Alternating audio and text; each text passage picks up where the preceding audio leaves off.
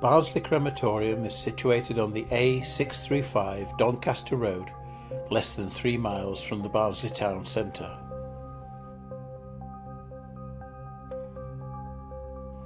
The bereavement office is on your right as you turn off the road.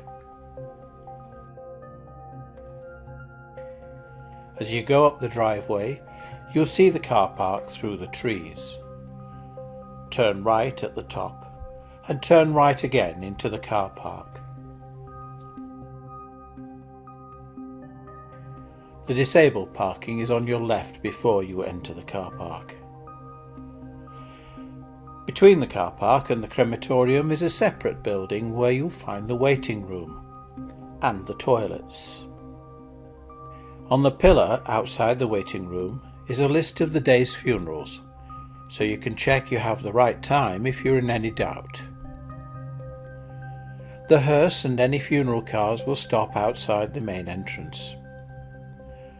Follow the coffin into the main chapel, which has seating for 88. If the chapel is full, there's an overspill chapel on the right as you go in the main entrance. This seats 31, and the funeral can be watched on the flat screen. Once the service is over, mourners are directed through the door at the front right of the chapel.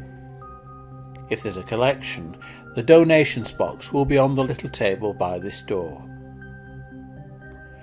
Through the door, there's a covered walkway, at the end of which is a flagged area where funeral flowers will be placed, arranged by the day of the week.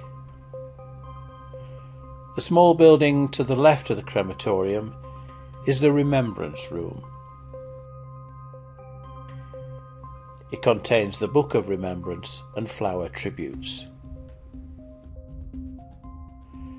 Memorial plaques can be purchased to be placed on the memorial towers around the grounds. Barnsley Crematorium is a peaceful place and it's open daily.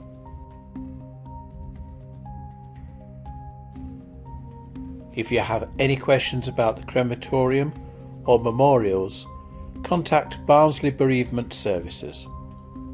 Here are the details.